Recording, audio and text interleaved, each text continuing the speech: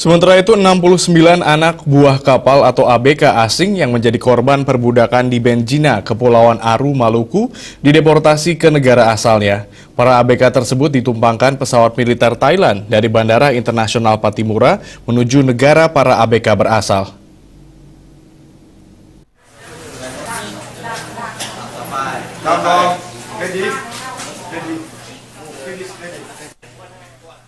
Sejak pukul 7 waktu setempat, 69 anak buah kapal ABK asing asal Thailand dan Myanmar telah berkumpul di pangkalan Angkatan Udara Lanut Patimura. Pemeriksaan ketat dilakukan petugas imigrasi kota Ambon terhadap 69 ABK asing.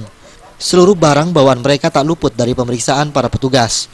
Menurut Kepala Imigrasi Kota Ambon, Nanang, para ABK asing yang dipulangkan tersebut merupakan pekerja asing yang menjadi korban perbudakan di perusahaan perikanan milik PT Pusaka Benjina Resource di Kepulauan Aru, Maluku.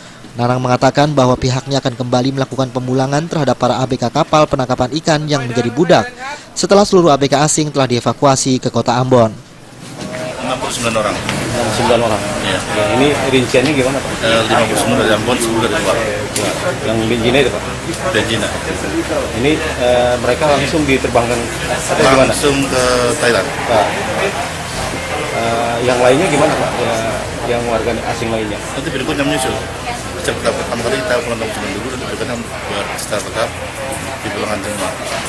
Pak, mereka Para ABK asing ini sebelumnya menjadi korban perbudakan yang dilakukan perusahaan ikan Thailand yang ada di Benjina, Kabupaten Aru, Maluku. Peristiwa ini kemudian menjadi perhatian pemerintah setelah media Thailand mengangkat masalah ini. Bahkan berita tersebut juga menjadi perhatian dunia. Dari Ambon, Maluku, Haryatno melaporkan.